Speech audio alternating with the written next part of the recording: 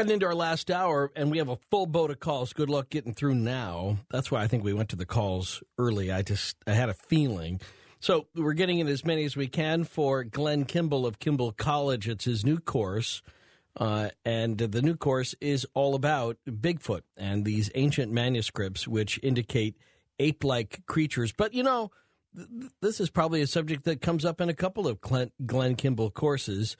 You can find out more online by linking up to him through coasttocoastam.com. If you missed the blog earlier, I'll just mention that crypto news for this evening from the first hour is up too, and you can link up to that through coasttocoastam.com. And and we'll get to your questions and comments about Bigfoot like creatures uh, being referenced in ancient manuscripts. We read some of them earlier, uh, and these uh, these references clearly or seem to clearly indicate that there were intelligent she ape type queens, uh, some that that that were working out of caves.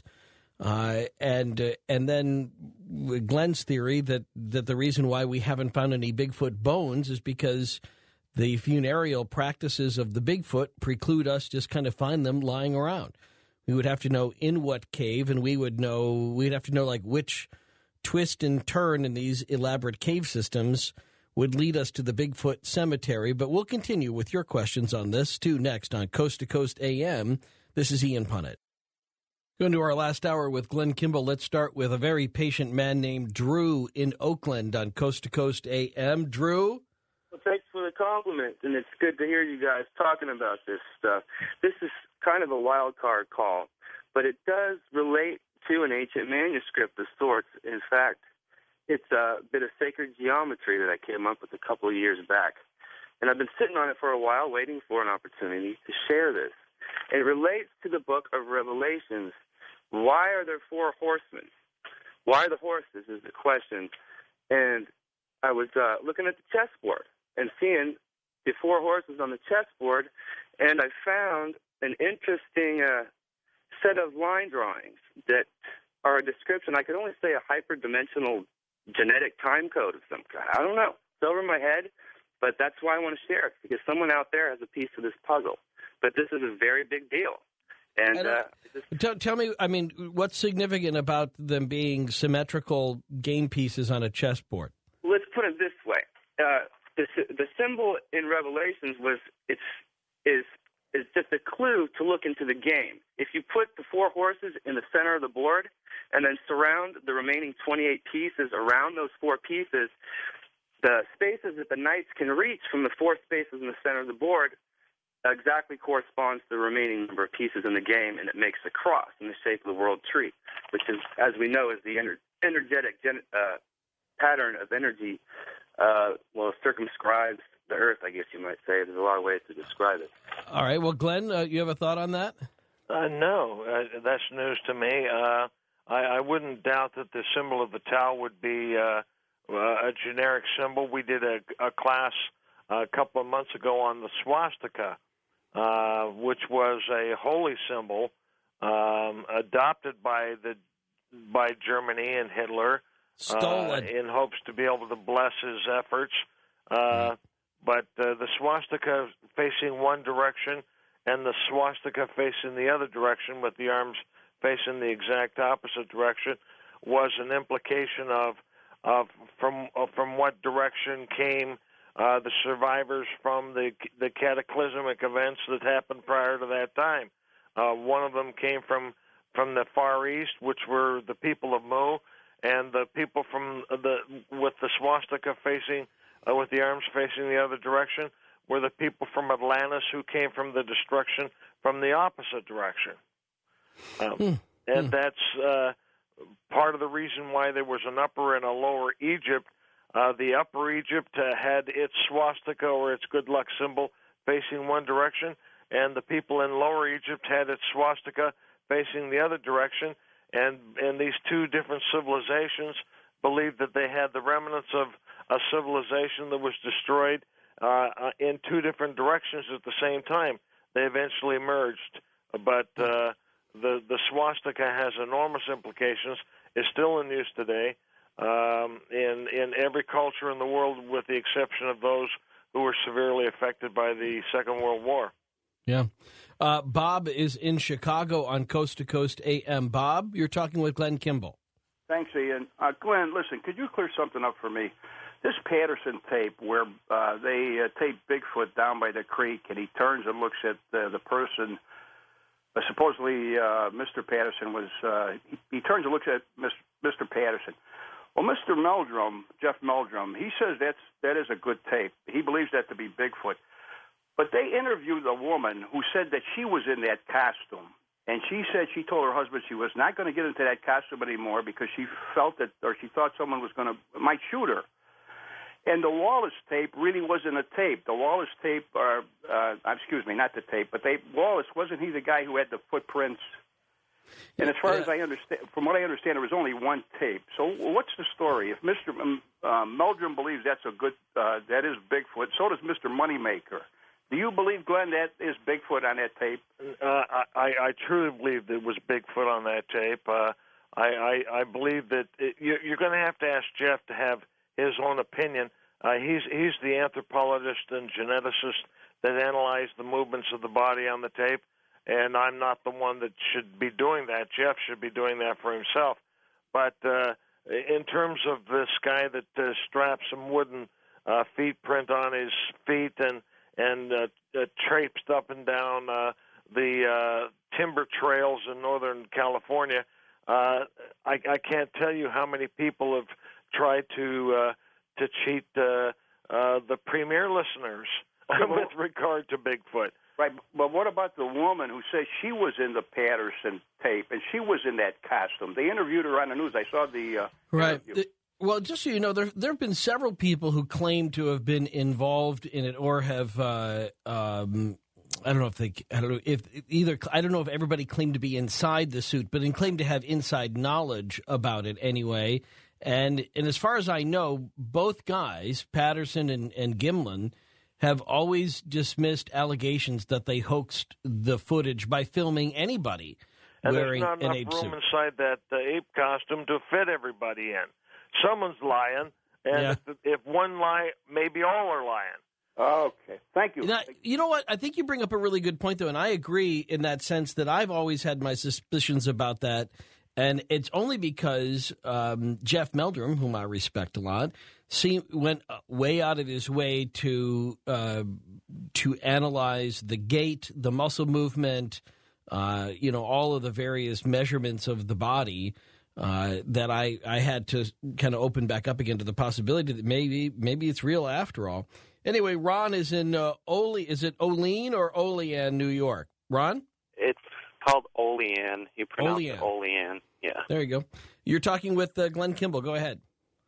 Hi. Um, I just have a question about if there's anything on record of Bigfoot's not being the standard size, because I saw something which I thought was a Bigfoot, but it it was only about five foot, maybe two or so. Well, there, there are infants. Uh, these these have uh, uh, children just like anybody else does, and uh, some of the, uh, you know, I've never seen a Bigfoot myself, with one exception, and that is that I have a very very good friend that I've known for years.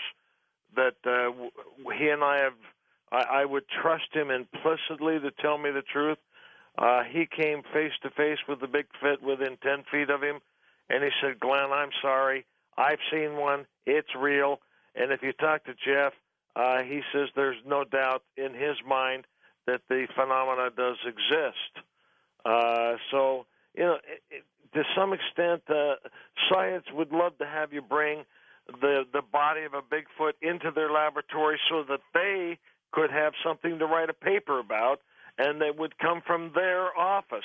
Uh, how many we only have 1% or less than 1% of history and of our science that could ever fit inside of a laboratory to begin with. Uh, we have theories about big holes and event horizons and, and things that w- would never uh, have uh, the opportunity to be demonstrated on the surface of the earth. Uh, it's not possible. And so those who require uh, uh, this kind of phenomena to be presented in their laboratory, I think, are kidding themselves and have violated their own scientific principles. Uh, science was never intended to be the Carl Sagan approach that says to make extraordinary claims you have to have extraordinary proof. There's not one single theorem in mathematics or in philosophy or in anything else other than in Carl Sagan that has that requires a discovery to have extraordinary proof before it can be real. My dad told me when I was 8 years old. He said if you want to start a new business and my family I come from a very entrepreneurial background, uh, my family does. He says if you were to ask 10 people whether or not you should start a business, he says all 10 would tell you no. He says not 9 out of 10. He said all 10 would tell you no. And and that has a great application here in the in the sense that if you were to ask people, does Bigfoot exist? If you were to ask someone from Harvard, all of those who are skeptics, and, and Hesiod spoke of this, that our our epic, our day would be characterized by its own skepticism, and it would be the limit.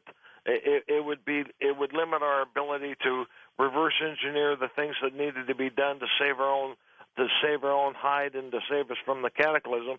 Uh, not we wouldn't we have no place to begin because no one can agree.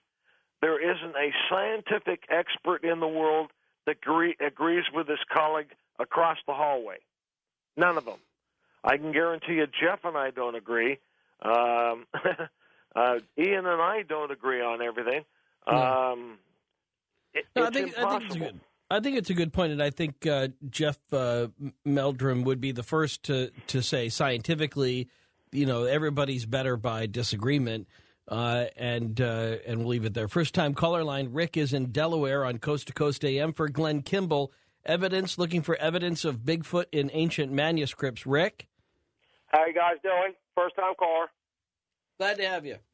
Okay. Um, uh, first of all, um, it is it is it is true. Bigfoot exists. Uh, second point at all, they they are an ancient species. They are a species protected by the government. And most important of all, this is why, and they do live underground, and this is why the government is stalling on allowing us to drill because the areas are protected for that reason. Take care. Uh, allowing us to not to drill where? I don't know. He hung up. I wasn't sure what he what he meant by that because we're drilling in a lot of places. Uh, we do have protected at... national forests uh, and who knows why. Okay. All right. So he means in the National Forest or ANWR or something like that. Uh, Bill is in Bloomington, Illinois, not far from my old haunts on Coast to Coast AM for Glenn Kimball. Go ahead, Bill. Uh, good morning, gentlemen. You know, uh, I'm somewhat skeptical because I'll tell you the reason why. The one thing that separates us from just about everything in this planet is man's curiosity to either explore or to find out what's above the horizon. Now, I'm looking at it in a, in a simplistic manner that uh, Bigfoot has offspring. We have offspring. Now, every society and every race always has a rogue. Now, either they know how to raise their children to discipline them to where, hey, don't go above surface. But I'm sure somewhere along the line, there's got to be a rogue child teenager yeah. saying, hey, I'm tired of listening to you guys. I want to go somewhere. And why hasn't we discovered or they discovered us or whatever the case may be? You know what I'm saying? Well, maybe that's uh, maybe that maybe those are the Bigfoot sightings we get, the, the rebellious ones. It's very it's very possible, and and you know, it's an interesting thought. Uh, However, there were societies for thousands of years who had well disciplined families. Uh, we're, the, we're the society that have undisciplined families. Um, in fact, it's only been, I, I know that when I was young, my mother used to tell me, don't leave the yard. And I didn't. Yeah, our kids want to, but um, we put them on a leash and they can't now. So that uh, but they smell like Bigfoot, so maybe that's something. International line, Elb is in Ontario, Canada, on Coast to Coast AM. Elb? Hey, good morning. Hi, you're talking with Glenn Kimball. Go ahead. Hi, Glenn. Uh, on this uh, Bigfoot, uh, I was watching uh, Direct TV, and uh, there was a little girl down in Tennessee that she claims she talks to them. Yes, I saw that. And as far as the weapons, they took a deer decoy and showed how they grabbed him and broke her neck. And she said when they ate it, made her sick, and she didn't much care for it. Well, I understand that. I think what's interesting about the weapons claim, and this is what I was tying back into uh, Glenn's assertion that Bigfoot are um, descendants of Neanderthal, that they have gone underground and evolved and come out as, as Bigfoot, is that the that it's rare to see technology go backward like that. I'm not saying it doesn't happen. I think there are examples of that even in our own Western culture. But to be as basic and rudimentary as you know, if Neanderthal were ca- carrying spears uh, and and sharpened tools from antlers and, and that sort of thing, why are Bigfoot never seen with tools? Because it would seem so basic and life providing, food providing, uh, that that would just seem like something that we would see more of. But but nobody said that they've ever seen it at all. Let's get Glenn in Harlingen, Texas, for Glenn Kimball on Coast to Coast AM. Glenn, uh, Mr. Punnett, Mr. Kimball. Yes. Uh, first of all, let me uh, compliment you on that uh, extremely handsome and lyrical sounding first name. I, I assume you mean Glenn and not Ian. So go ahead, Glenn. Uh, well, uh, I want to point out that uh, your analogy for survivability of a low population with the mountain gorilla isn't quite accurate. Uh, zoologists have uh, found that uh, the mountain gorilla and the lowland gorilla had a, a vast range uh, after the uh, last ice age, and it's only due to the uh, encroachment of human population. We're talking pre-Columbian human occupation.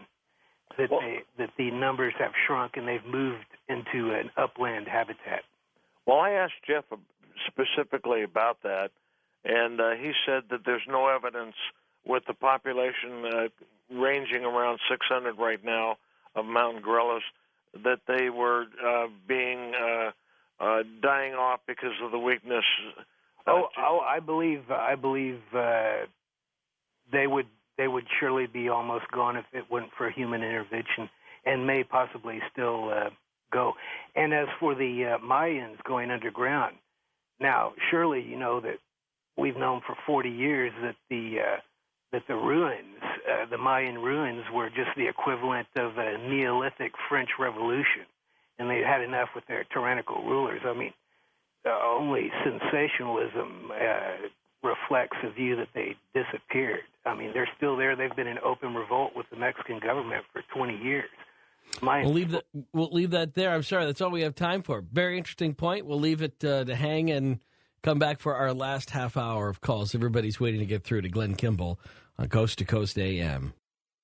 And so it is that we headed to our last half hour. Can I just say, I love the way the bumpers have maintained the theme, the big theme all night long. Just big foot, big country, big shot, bigger than myself big. And that's really what we're talking about. Something big. If it's true, uh, if Glenn Kimball is onto something here, it's going to be big. That there are references to Bigfoot and ape like, giant ape like civilizations in ancient manuscripts. Read some of them earlier. Get more of your questions and comments next on Coast to Coast AM. This is Ian Punnett. See, where do we start? I guess Rosemary's been waiting the longest west of the Rockies. She's in Chico, California for Glenn Kimball, ancient manuscripts that mention Bigfoot, underground Bigfoot. Rosemary, where are you with that? Well, uh, I lived in South, I'll say Sawadika, Sabaidi, and Najong to my Hmong friends in St. Paul. I lived seven years in Southeast Asia, so I guess I'll start with Vietnam, where I lived first. Uh, the Bigfoot type they have over there, I have the actual name for it, Gigantopithecus, 10 feet tall. Uh, lives in the caves. They live in the Lang Trang caves and there's uh, uh, not many people have gone in there to check this out, but they uh, there have been two American scientists went there uh, in '89, and there's hundreds of relics and bones from these uh, uh, these uh, primates, the Gigantopithecus, and uh, the information I have here says they coexisted with Homo erectus for 500,000 years. Now, I don't know about the accuracy of that. It's a book I just picked up at the library uh, about Sure. the ruins at Ban Chiang. Uh, I've been to the ruins. At, I traveled quite a bit around. I lived in Laos two years, in Thailand four years, but I traveled around Cambodia and all those places. And I've been to the Ban Chiang rings uh, ruins, and I and some of the and they had. Uh, by the way, they did have bronze as right. well as stone uh, in in those caves. All right, and Glenn- some of the things I picked up myself, I got at the. I had a friend whose father was uh, a, a Thai friend who flew in Laos, and whose father was over the ruins at Ban Chiang. So I had a chance to get in there, and I had a number of items I got that were carbon tested, seven to nine thousand years old. All right, Glenn, you have a thought on that?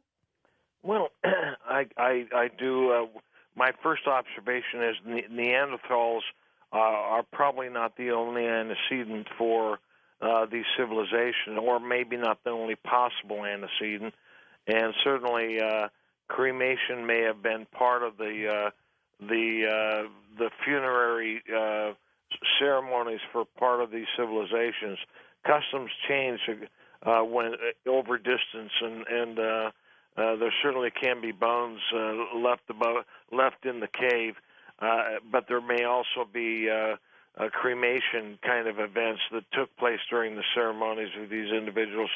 But one thing is one thing I think is important uh, to an, an observation is that if something is for real in our day, uh, it will probably find a mention in an ancient text at some point. And we certainly have demonstrated that tonight.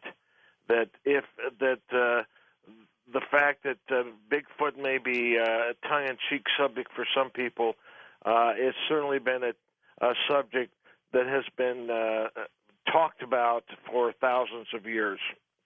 Okay, and I think I think you're I think you're right on that. Uh, There have been a lot of people who have talked about other species, and we do see that written. The question is, are they the same other species as we talk about when we talk about Bigfoot in our forests? Mike is in Reno on Coast to Coast AM for Glenn Kimball of uh, Kimball College. You can link up to him through coasttocoastam.com. Go ahead, Mike. Hey, thanks, guys.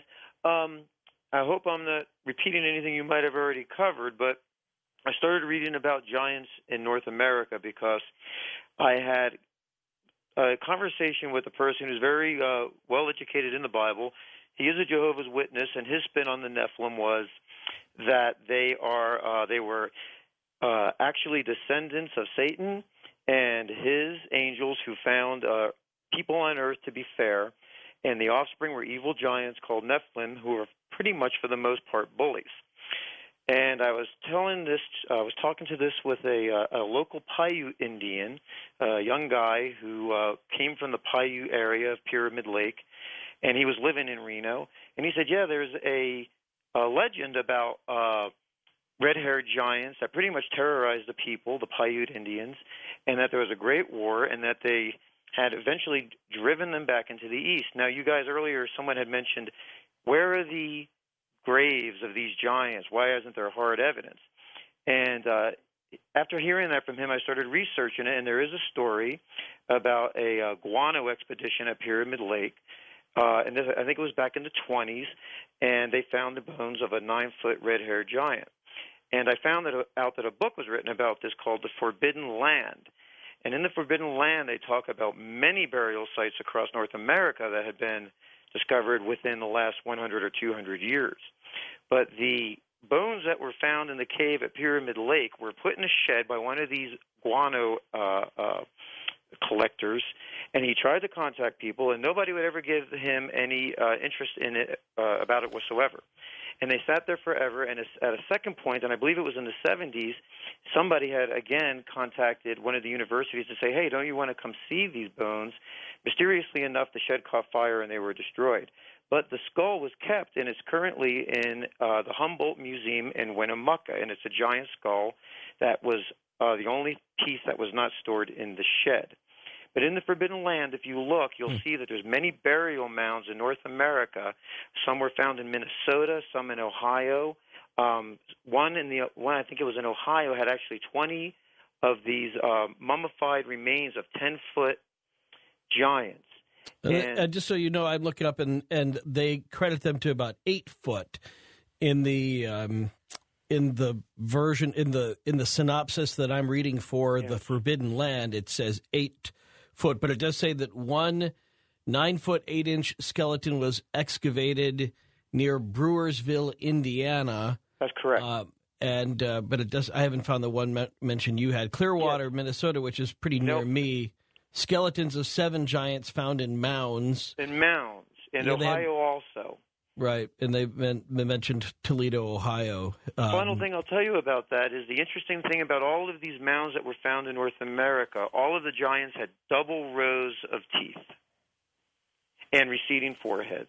Now, Glenn knows a little bit about that. Glenn, Well, obviously, you can refer to Stephen Quayle's book on giants. Uh, that's kind of old news. Uh, but uh, there were giants in the lands. The one one exception I might take is that we tend to, when something is weird and strange, we tend we tend to to uh, make it an evil uh, character uh, characterization. right? And, and I take exception with that. Uh, I th- I feel like there were many good. Uh, you know, Magellan met one of the giant creatures in his tr- voyages. Uh, Vasco da Gama met one. Americo Vespucci. Um, uh, a, number of people have met uh, these giant pe- people, and and they were not aggressive. Uh, to to to try and to try and blanket characterize uh, an entire culture uh, by some religious dogma is probably unfair. And certainly, certainly, it's unfair to to suggest that the the that uh, the Bible suggests that these were evil men who had fallen out of heaven and married the daughters of Eve. Uh, I, I I find that to be inconsistent because uh, those who uh, were rejected, uh, uh, supposedly in the biblical scenario, uh, never were able to have children, and so why would they be interested in the daughters of Eve to begin with?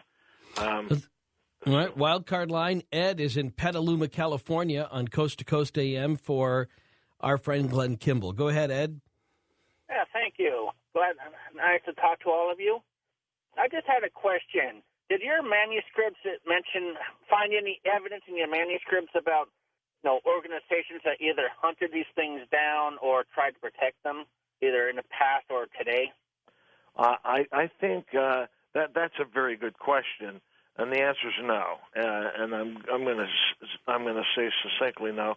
I think that the manuscripts rather would say that they were self uh, that they were self uh, uh, uh, they were able to take care of themselves. Uh, that they were brilliant creatures that uh, were self-sustaining and had powers that were beyond perhaps even some of the technology we we exist that we have today. Wouldn't wouldn't it be interesting if the scientists were open enough, open-minded enough to to be able to do to reverse engineer some of the things that we very much could find in our day and age, rather than dismissing them with the with the with a single word of skepticism from their mouth. Um, uh, science is famous for saying that we're fair. We treat we we treat subjects fairly, uh, when they themselves uh, treat almost nothing fairly. there isn't a, there isn't a scientist or a historian that I know that that treats manuscripts uh, fairly. Uh, with with they they they erase possibilities from the table with a with a with a blanket stroke, and even Jeff does. Uh, Jeff would conclude that uh, it's not possible for uh, a Bigfoot to have been anything but a but a, but an animal character, an, an animal creature. Right. And when in fact it's it's possible. I mean, in all the realms of possibility, one of the possibilities is that they are spirit to us in some fashion. Uh, oh, go ahead. Is there more? Eh, Well, I'm just I'm just trying to suggest that that's a possibility. Now, Sure. whether that's true or not is remains to be seen. But but to dismiss it uh, out of hand is not scientist, scientific at all. It's it's a bias, a, a clear bias that has been entered into the genre. Grego is in Omaha, Nebraska on Coast to Coast AM for Glenn Kimball. Go ahead, Greg. Yeah, I was. Uh, first of all, uh, Ian, thank you. This is a great show. It's uh, bringing different uh, side of Bigfoot than the normal show. You know, Good. Thank you. and uh, my question for uh, your guest here is, uh, what what inspired you to uh, start Bigfoot? You know. Well, I really haven't started Bigfoot. The classes for last month weren't dedicated to Bigfoot. They were de- dedicated to the creation stories, to uh, Adam and Eve, and to the Cave of the Treasures, and to the to the creation story itself. But but what has precipitated from it has been a discussion of Bigfoot because it mentions uh, uh, an ape uh, uh, an ape culture, um, and whenever you deal with ancient texts, uh, you can guarantee that something will will surprise you. it always does. A, a, a topic will surface, and so when you say what what inspired me, what inspired me was it appeared in the text. That's all you need. It's right there. Let's get to Camille, Cape Girardeau, Missouri. Oh, hi, Camille. Hello, how are you doing? Good. You got a question for Glenn Kimball? Um, it's not really a question. It's kind of more like uh, I honestly don't believe in Bigfoot. There's a perfectly good explanation for for him. Okay. What's that? Um, I've seen on TV shows like Oprah or some some type of show like that that there are people today that have hair all over their covering their entire body, face and the entire body, right? Okay. And there's even movies about it, and um, and then so you have them, and there's also giants in the Bible like uh, Goliath. So you have a really big guy that uh, has hair all over his body. Why would he be Bigfoot? Why couldn't he just be a regular person like you and myself? Why would he live? If you had hair all over your body and you were just a normal person like you or me, why would you go live in the woods? Well, because back in the day, if you were different than other people, um, you know, a lot of times families would, oh, we don't know what to do with you. You're not like us, and they throw you aside. And so, um, so you think there are then the, person, all of the, they might, huh? Go ahead. all of the people that are living in the woods as Bigfoot are all castaways from a, from previous families or cultures, Okay. and now they've created a separate group of of hairy people that are cast aside in society. I Okay, just we're trying to talking about all the people in the woods. Now, how many people are there in the woods that are hairy and tall? How many? I mean, does anybody know? No, these are sightseeings, and nobody actually knows. Nobody actually has anyone met one. They see Yeah, them. y- Yes, yeah, they've- and there's they been- have. There's hundreds of thousands of sightings, and so it's not an aberration. Uh, uh, it's not just one individual. It's uh, hundreds of thousands of sightings that are centered around, coincidentally, around uh, places where there are caverns, and that's maybe coincidence, uh, but it may not be a coincidence. And and the fact that it's mentioned in ancient texts, uh, I find to be uh, a piece of circumstantial evidence that is curious. I mean, the the idea, uh, I think, Camille, is that these sightings predate Western cultures moving into the United States. For example, the Native American tradition that holds that there were these creatures that were there before we ever showed up. Like the Indians. Well, not only Yeah. that, but manuscript evidence from from thousands of years ago mentioned this very same phenomena, and uh, I find that to be interesting. The, one one thing I tried to say at the top of the or at the bottom of this hour was the fact that things that are typically true appear in ancient text as well. Uh, if if you're talking about a mythology that you can sweep away with the brush of your hand, then it's probably not going to be mentioned in an ancient text anywhere. But if if, if it's mentioned in an ancient text somewhere, then it then it's it's something that is interestingly interesting enough that we should uh, investigate further. Let's go ahead and let's go ahead and get James in St. Louis. It may be the last call we have time for, but we'll try for Sharon in just a second. Go ahead, James. Hi, hi, Ian and uh, Mr. Kimball. I got a que- uh, well. Actually, I wanted to answer your question, Ian, about Cain and Abel. What's that? Um, Cain and Abel, they did. They both had twin sisters, and Adam and Eve were discussing among themselves how they would uh, multiply, and they were going to marry Cain's sister with Abel, and Abel's sister with Cain. It's in it's in the second book of uh, uh, of Adam and Eve, which is part of the Cave of Treasures. So it's in there. I, I, I, the second book of Adam and Eve. I, I just, I've, I've never, I've never seen that. So, if um, you if you go and Google apocrypha, go down to the apocrypha index. It has all the apocrypha on it that you can read. I have a couple of books of apocrypha, and I don't have that one, but I'll, I'll go see if I can find that. But It is um, in the Cave of the Treasures, and the go ahead. gentleman is correct. Right. Uh, and you had a question for uh, uh, for for Glenn. Um, I was just wondering about the Septuagint, or, or you know the the Greek uh, Bible. Septuagint.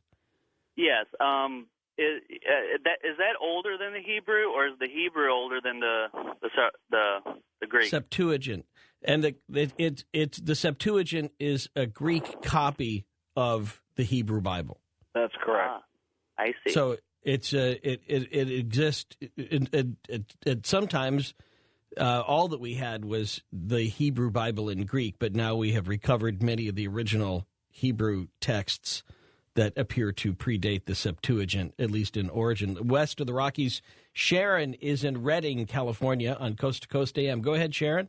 Hi, I'll be real quick. Um, I have an, a question for Glenn. Is it possible that the Bigfoot are so advanced past us that they might be time travelers, or they could possibly step in and out of dimensions to where they um, disappear easily on us? That's why we haven't caught any and don't have any. Well, Glenn? it's certainly a possibility, isn't it? We'll have and to I leave it- dismiss no possibilities.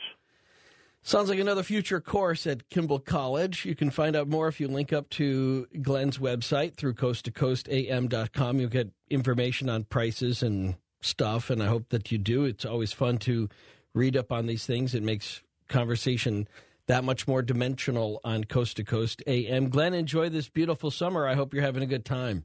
We are, and the uh, phone number for, to contact me uh, is is on the website at kimballcollege.com, and uh, so are the uh, classes. And we hope you enjoy them, and and I think you'll find out that if you'll take those classes one at a time, i it'll substantiate what you believe, and it'll be a complete, completely fascinating uh, study. Thank you. Deus te up, and I do too.